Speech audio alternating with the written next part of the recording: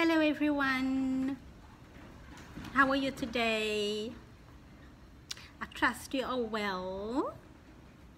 Welcome to my channel on inner transformation, poetry and fabric art. I'm Ghairo and I'm a Reiki and Seiki master and I do Akashic readings for those of you that want to access your Akashic record and I'm also able to connect you connect you to your galactic family for those of you that have progressed uh, to that level. If you want to connect uh, with your galactic family I'm able to do that. My links are below so uh, please connect if you if you resonate uh, with me or what, what I'm, I'm presenting. I'd be more than willing to, to guide your progress, your inner transformation progress. Today I want to speak about a few minutes about soul contract because when you're on a path of inner transformation, it's very important to understand what a soul contract is and what contracts you are involved in and how you need to change this or end it when it, when it becomes necessary. So before we look at a soul contract, let's look at um, to make it a bit easier, let's look at the characteristics of a contract in 3D, in the third dimension. So when we, um, when we have a contract in, uh, in 3D, um, which, which most humans are involved in all the time. We, we have we have all kinds of contracts with all kinds of people all the time in the third dimension. And these contracts are mostly about the exchange of third dimensional commodities for um, for finance for money so for example, um, when you're buying a property or when you're buying a vehicle uh, or when you're buying information, you need to enter into a contract with the bank or with whoever you're purchasing uh, the goods from. Uh, you enter into a legal contract with them. And uh, that contract uh, is in force until such time that the agreed energy, energy exchange is complete. So when you, um, when you, for example, buying a property, and you're, sorry, I'm recovering from a cold. When you're um, buying a property and the mortgage payments is complete, the contract ends. There's no, there's no more obligation between you and the financial house or the bank or whoever you've bought whoever you've mortgaged um, the, the property from. The same uh, would apply, for example, when you um, wanting to learn something, you go to university or you contract someone to teach you a particular skill. When that contract is complete, it ends. There's no there's no emotional attachment. There's no further legal obligations. Um, it's it's easy to end the contract. It finishes. So it's quite straightforward. There's there's no emotional attachment involved. However, when you have a soul contract with someone, the contract happens not in 3D, not in the material dense reality. It happens at the level of soul. you contract with a particular, with another soul at the level of soul before you embody into the third dimensional reality. So the energy exchange doesn't normally involve finance, money. It's an exchange of a high frequency energy between two or more souls that have a common purpose during the uh, sojourn on planet Earth or during their stay in the third dimension. And that soul contract normally involves something that the souls have in common or a common lesson that they need to learn.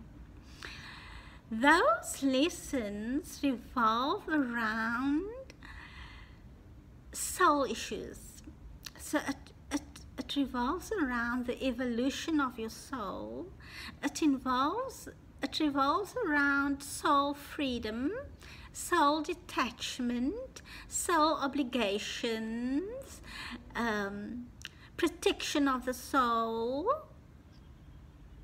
So it's a much deeper contract and it's not between uh, uh, humans at the mental at the mental level it's between humans at the level beyond the mental so so it involves your higher mind your emotional body uh, any karma that exists between you and another soul uh, in the astral realm. And um, if you have a very uh, a deep soul connection with someone. For example you in a twin a twin soul relationship uh, the connection is very deep and long lasts long um, longer lasting. So it's it goes right up to the level to the causal level when your when a, a source has created you so does that make sense? Let me just see if I, if I'm if I mentioned everything I wanted to mention. So um, this the soul lessons. Just to recap, the soul lessons involve self-love, soul freedom, detachment, uh, artistic expression and creation, soul evolution, um, eradication of karma, protection of divine energy and the evolution of the planet.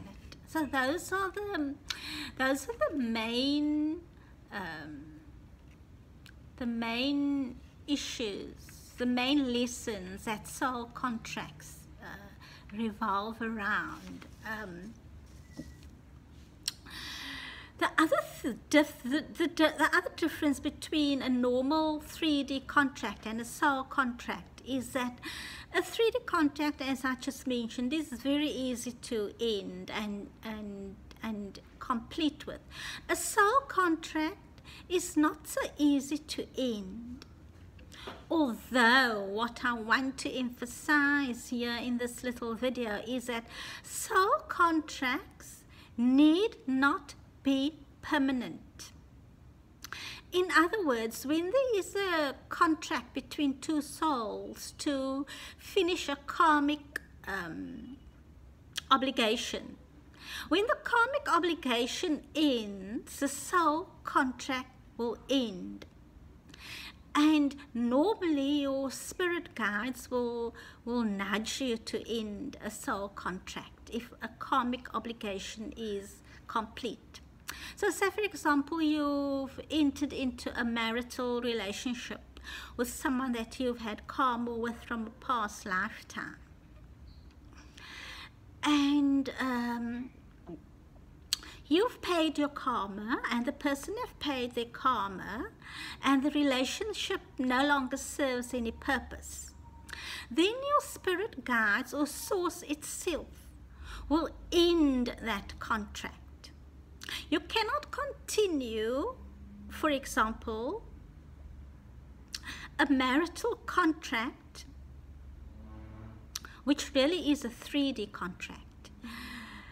when the soul obligation is is complete. It has to end in order for your soul to evolve and move on to uh, a higher level or into a new octave or to learn new lessons. So even though uh, it is extremely painful to end soul contracts, remember that soul contracts are not permanent. Even contracts between um, a parent and an offspring even though soul contracts need to end in order for your soul to move on to the primary reason for our embodiment on planet earth which is soul freedom soul individuation and finally soul freedom and dissolution into source so some people think that soul contracts, um, soul contracts are forever and uh, it ends when you die. No, soul contracts can end at any time in the same way that the 3D contract can end when the obligations are finished, complete. It's just that a soul contract involves um, more entanglement at realms beyond the third dimension, which means in order for disentanglement to happen and the contract to end, it is painful. However, what we need to remember is that that pain that we have to endure emotionally and at the level of the heart and in all, in all our different uh, energy centers that pain is part of the process of soul evolution. We have to go through it in order to move on. Does that make sense? Um, what else did I want to say? Oh, normally when you enter into a soul contract with someone, um, you will recognize the soul immediately. In other words, your core soul frequency is, um, is very similar or uh, in some cases like for example in in twin twin soul uh, in the twin soul phenomena the soul uh, frequency is identical but you will recognize the frequency of your soul group or your soul tribe almost instantly. It's instant recognition because you travel with those uh, with those souls through many lifetimes uh, and in some and you embody in similar contexts. So for example, um, uh, um, I'm in South Africa, and uh, we we went through, as as some of you know, we went through a terrible period of um, uh, repression, and the souls that have fought against the the repression, repressive government, they recognized one another immediately. They recognized immediately that they had the same mission to overthrow an oppressive government. So the frequency was the same at that time. That doesn't mean that the frequency, the frequency of, for example, comrades will always be the same. Some of them will tend to remain in the same frequency. Others will take on uh, different cell paths and their frequencies and vibration will change according to according to what their soul has uh, undertaken to learn. But the, the recogni soul recognition is an immediate recognition. Does that make sense? Let's see what other um, oh the other thing I wanted to say is that um, often in soul contracts, when there are when there's a soul contract between two or more souls, the ability to speak beyond human language is very high. So telepathy is high. Your understanding of energy movement is the same. So you're able to understand uh, the other soul immediately without human words. And human words can sometimes um, be a bit become cumbersome between souls that understand one another well. Uh, and uh, um, for those of you that are parents um, and you have contracts with your offspring, you will, you know, for example, that you know immediately when your offspring is sending you a message, uh, or they will receive a message from you. Uh, for example, when you when you're late at picking them up or something like that, um, they will sense it immediately. Okay, does that um, does that make things a bit clearer about what a soul contract is?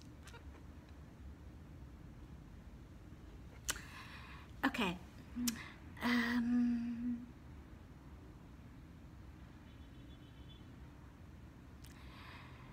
So if you have any more questions around soul contracts or specific contracts, um, my, my details are in the description below. Feel free to connect with me. And I'm sending you lots of love and high frequency energy. And um, go well. Have a good day. Goodbye.